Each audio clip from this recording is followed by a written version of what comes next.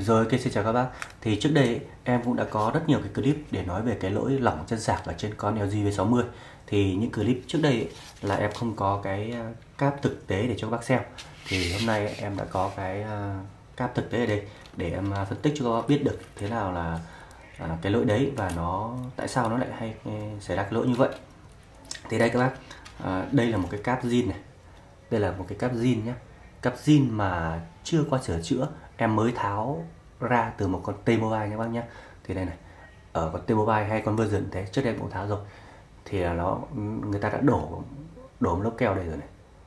Đấy có lớp keo đàng hoàng nhá. Đấy có nghĩa là người ta cũng có nghĩa là em thấy là à, uh, LG cũng đã lường trước được cái cái mối nguy này. Đấy đây này có người ta đổ keo đàng hoàng đấy nhá.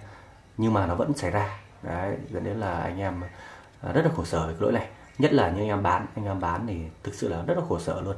Tại vì cái lỗi này là lỗi của nhà sản xuất nhưng mà anh em bán thì vẫn phải bảo hành. Mà bảo hành cái này đâu có rẻ đâu. Bác biết rồi đấy mua cái cáp này nguyên mua không cái cái cái à, mua cả bộ cáp này nó đã 400 nghìn rồi.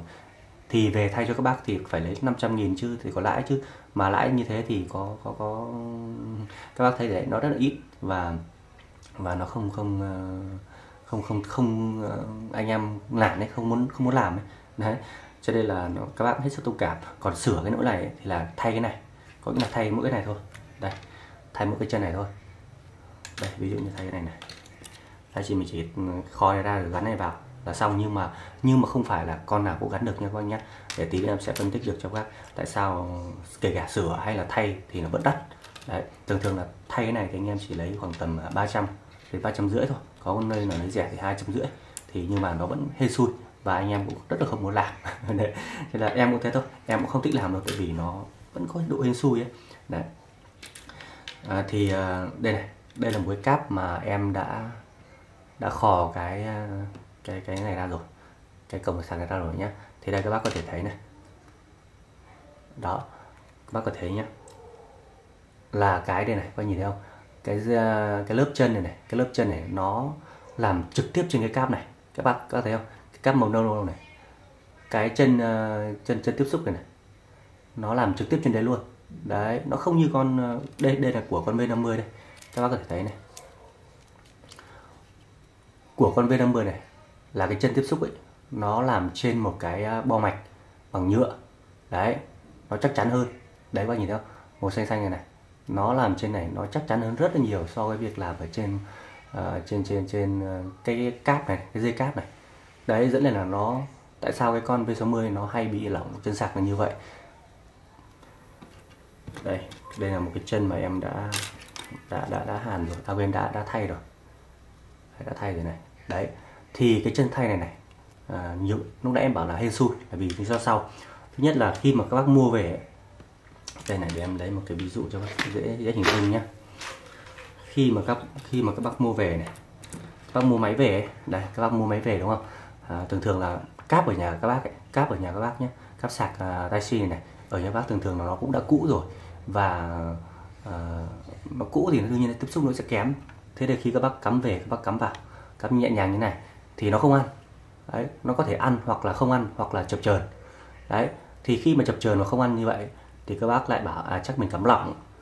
Đấy cắm lỏng quá thì mình thế là cứ đút mạnh nó vào đút mạnh nó vào đút hết cỡ vào luôn đút hết cỡ vào luôn. Đấy. Thế là qua mấy lần đút hết cỡ như thế thì các bác biết rồi đấy. Cái này các bác đút mạnh quá. Các bác mạnh, mạnh quá dẫn đến là cái nguyên cái bom nguyên cái cái phần nguyên cái phần này này nguyên cái phần uh, uh, chân ở ở trong này này. Đấy. Nó bị cong lên. Cái này nó nó rất là yếu mà nó rất là yếu mềm. Các bác nhìn đây này. Nó rất là dễ cong luôn. Đấy các khi các bác cắm mạnh vào phát nó cong lên và nó làm bong cái chân này đi thì đa số những lỗi như vậy thì là khi mà fix chân sạc ấy là nó rất hên xui nha các anh nhé nó không phải là là cái nào cũng chỉ cần thay cái này là được đâu. Không phải là cứ thay cái này mà được đâu. Đấy nhiều khi các bác cắm vào nhá nó bị uh, bong chân sạc lên rồi. Và đa số ấy, đa số là nó nó bong luôn cả cái chân lên. Bong cả cái chân uh, chân này nó có có nó có đường mạch mà các các bác biết hiểu nó có đường mạch dẫn lên trên cái cáp này. Thì cái đường mạch ấy nó sẽ bong ra nó sẽ đứt đi. Đấy thì đứt ở chỗ này đứt chỗ này thì gần như không thể câu được nha các bác nhé. Nó không câu được luôn. Đấy dẫn đến là là nhiều cái là anh em không thể sửa được. Không thể sửa được nha các bác nhé. Bắt buộc phải thay. Đấy bắt buộc phải thay cả cả cái cái bo mạch này luôn. Đấy, nó rất là củ chuối ở chỗ đấy. Đấy và các bác biết rồi đấy. Thường thường là ở khi khi khi mà mà mà mà làm những cái bo mạch sạc như này này thường thường là đây là con của V50 nhé nó cũng không có nó không có hai con ốc ở, ở gần đấy ở gần gần đấy nhưng mà nó là một cái bo mạch bằng nhựa uh, khá là cứng cáp ở đây nên nó đỡ hơn. Gần như V50 đâu ai bị đâu.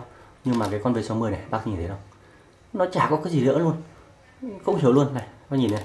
Nó có hai cái thanh ờ, hai cái chấu ở ngoài này. Lỏng lẻo kinh khủng luôn để nó đỡ cái để nó đỡ cái cái cái ngoàm này này. Ngoàm ở trên con này. Nó nó quá là lỏng lẻo luôn. Và những cái chân tiếp xúc ở đây nó cũng quá lỏng lẻo luôn. Dẫn đến là các bác đẩy mạnh vào phát là có thể là nó bị bong trần và nó hỏng. Đấy, và cũng không có hề có hai con ốc hoặc là một con ốc ở gần cái, ở gần cái vị trí này để mà nó giữ được cái cáp này. Đấy, của chuỗi ở chỗ đấy. Rất là đau đầu các bạn.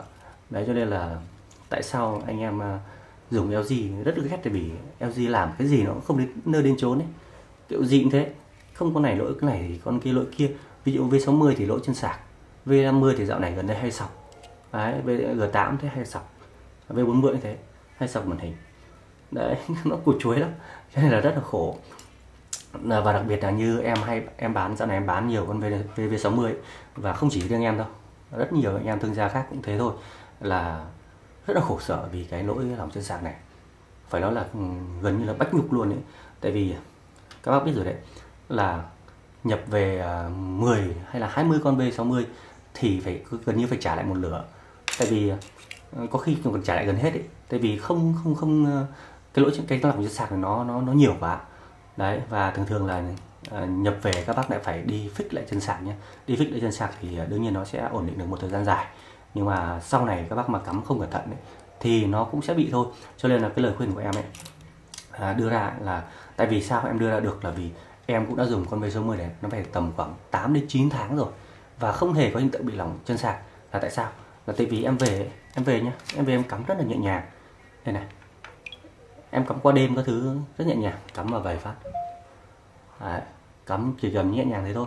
Cắm sau đó thì à, em cắm xong thì em toàn để một chỗ như này thôi. Xong rồi em đi ngủ.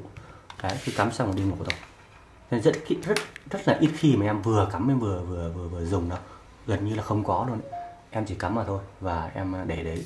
À, sau đó là là đi ngủ hoặc là làm việc khác thôi. Chứ không bao giờ vừa, gần như vừa, không vừa vừa sạc vừa cắm bao giờ, và vừa sạc vừa chơi bao giờ nhé các bác nhé đấy thì em cũng vừa nói rồi đấy, khi mà các bác cắm cắm cái chân sạc này vào con 1060 này, đấy, cắm nhẹ nhàng như thế thôi, nhẹ nhàng là xong.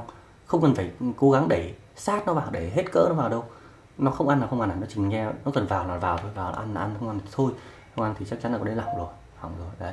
Cho nên là các bác hết chú ý cũng cũng không phải, cũng không trách các bác được, tại vì Vâng, tại vì các bác biết rồi đấy do cấu tạo của cái cáp sạc này thôi dẫn đến là là, là kể cả người dùng hay là thương gia đều khổ. À, các bác ấy, à, khi mà lỗi trong sạc thì các bác gửi về cho em uh, fix thì các bác phải, phải mất thời gian. Bọn em thì mất công sức rồi mất tiền bạc ở đấy.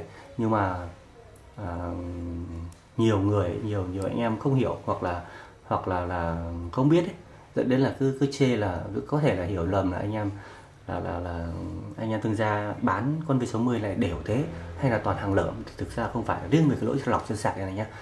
Em không nói về những lỗi khác những cái lỗi khác thì em em thì đúng là có những cái lỗi mà thương gia có tình giấu nhưng mà riêng cái lỗi lỏng chân sạc này thì em không hề giấu một tí nào. Đó là đúng là cái cái sản xuất của LG nó trên con V60 này nó quá tồi tệ dẫn đến là người dùng và cả người bán đều khổ hết.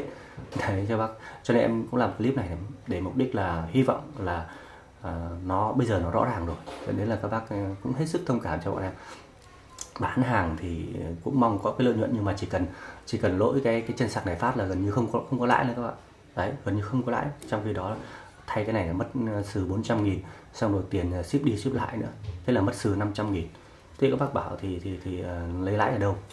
Đấy cho nên là uh, cũng rất mong các bác uh, qua cái clip này các bác uh, hiểu và thông cảm cho cho cho cánh thương ra, tại vì uh, đấy là cái lỗi mà mà không ai mong muốn cả và không làm gì được.